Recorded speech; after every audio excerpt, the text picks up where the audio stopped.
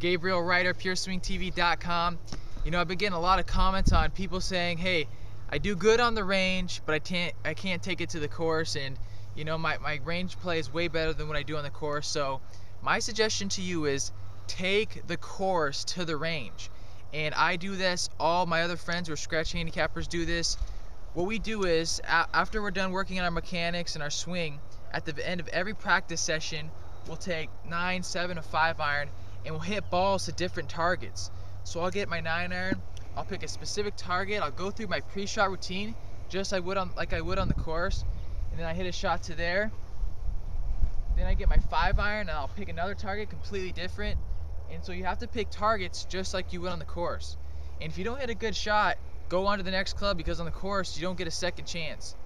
And one more thing, I suggest you play holes on the range.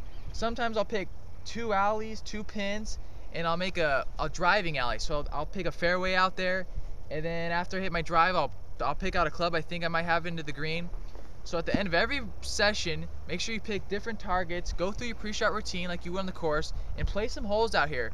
And that way, your practicing is a lot more fun, and that transition from the range to the course is going to be a lot easier. This is Gabe saying that's your range tip.